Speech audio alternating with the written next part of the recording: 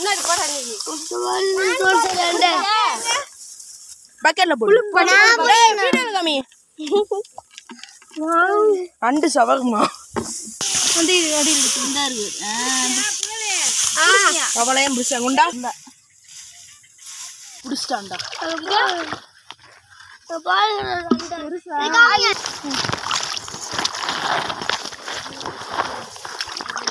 பிடிச்ச. கொண்டா. கையில ஏதாச்சும் திருப்பி கட்டு. இங்க.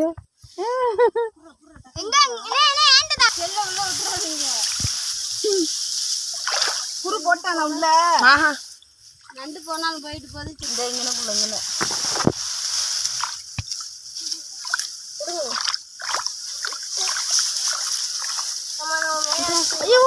ஏய், அப்படிதான் ஓடுது நல்லா. ம்.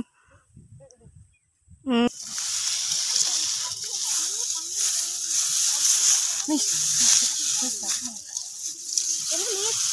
இந்த இங்க இருக்கு பாரு. ஓடு ஓடு. இந்த பாரு. வாமாவா?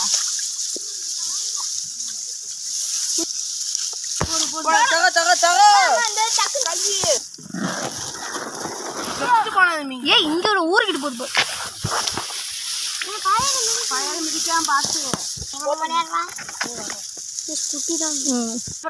சங்கு சங்குந்தா வந்து வயல்காட்டு நண்டு இங்கே பாருங்க இந்த மாதிரி கா அந்த இதில் வந்து நம்ம அப்படியே போட்டுருவோம் கடல் நண்டில் இதில் இந்த மாதிரி நகம் மாதிரி இருக்கிறதுனால இந்த காலெல்லாம் பிச்சு போட்டுறணும். பிச்சு போட்டுட்டு இந்த மாதிரி பிச்சு எடுத்துக்கணும். பிச்சு எடுத்துகிட்டு நம்ம க்ளீன் பண்ணி சமைக்க ஆரம்பிக்கணும். இதான் அந்த வயல் நண்டு பாருங்கள் நல்லா க்ளீன் பண்ணி நல்லா எடுத்துகிட்டு வந்தாச்சு.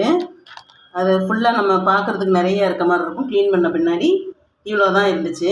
இப்போ நம்ம சமைக்க ஆரம்பிக்கலாம். அதுக்கு சின்ன வெங்காயம் ஒரு கால் கிலோ கிட்ட எடுத்திருக்கேன். நாலு பச்சை மிளகா ரெண்டு கொத்து கருவேப்பிலை ரெண்டு பட்டை மிளகா ரெண்டு மீடியம் சைஸ் தக்காளி கொஞ்சம் சின்ன எலுமிச்சை அளவு புளி. நம்ம தாளிக்கிறதுக்கு கடுகு உளுந்தம்பருப்பு வெந்தயம் சீரகம். இப்போ மசாலா பொடி மிளகா அப்படி நம்ம வச்சுக்கலாம். இது என்ன அரைச்சிருக்கோம்? மிளகு. மிளகு ஒரு ஸ்பூனு அரை ஸ்பூன் சோம்பு அரை ஸ்பூன் சீரகம் ஒரு ஏழு வெள்ளைப்பூடு ஒரு கை சின்ன வெங்காயம் ஒரு துண்டு இஞ்சி. இதை வந்து நம்ம அரைச்சி எடுத்துருக்கோம். இப்போ இந்த நண்டு வந்து இதை இந்த மாதிரி அரைச்சி போட்டு வச்சா தான் நல்ல டேஸ்ட்டாகவும் இருக்கும். நெஞ்சு சளி பிள்ளைகளுக்கு நெஞ்சு சளி கட்டி இருந்தாலும் நல்லா வெளியேறிடும் இது ரொம்ப நல்லது. மழை காலத்தில் வந்து இந்த மாதிரி வயல் நண்டை சமைச்சு நம்ம சாப்பிட்டோம்னா நம்மளுக்கு சளி பிரச்சனையெல்லாம் இருக்காது. வாங்க நம்ம இப்போ சமைக்க ஆரம்பிக்கலாம். இப்போ நல்ல நல்லெண்ணெய் ஊற்றிக்கிடுவோம்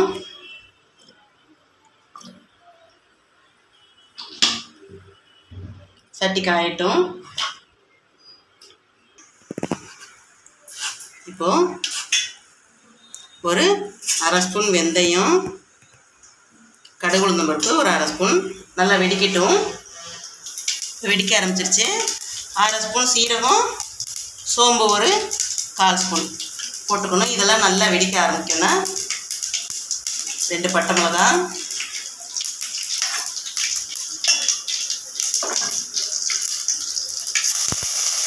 கருவேப்பிலை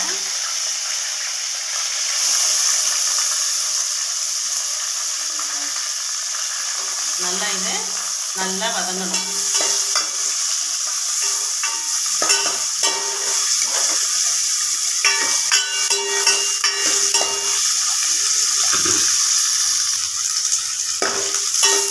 வெங்காயம் நல்லா வதங்கியிருக்கு. இப்போ நம்ம நாலு பச்சை மிளகா தக்காளியை போட்டு நல்லா வதக்குவோம்.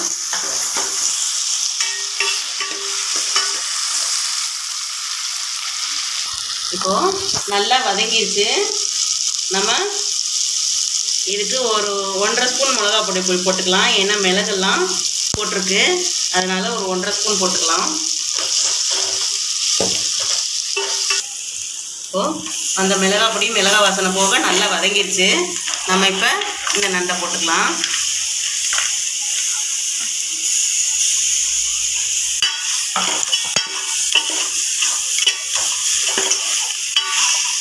நல்லா வதக்கி விட்டுட்டு.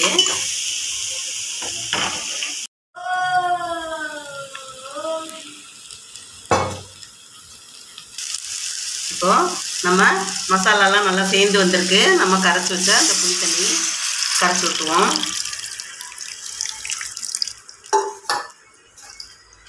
நம்ம அளவு குழம்புக்கு தேவையான அளவு நம்ம கொட்டிக்கிடுவோம்.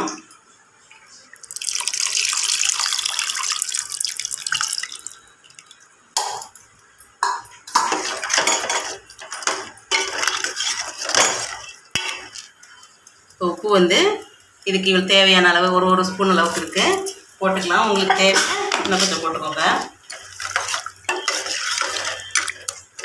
இப்போ இது நல்லா கொதித்து வரட்டும்.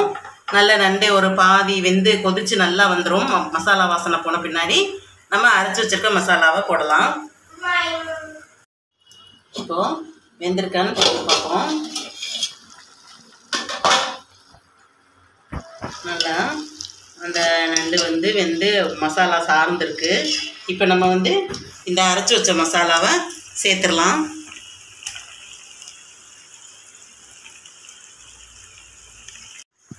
நம்ம இந்த மசாலாவை நல்லா கிளறி விட்டுட்டு அரைச்சி வச்ச மசாலா அந்த தண்ணி கழுவி தேவையான அளவு நம்ம சேர்த்துக்கலாம்.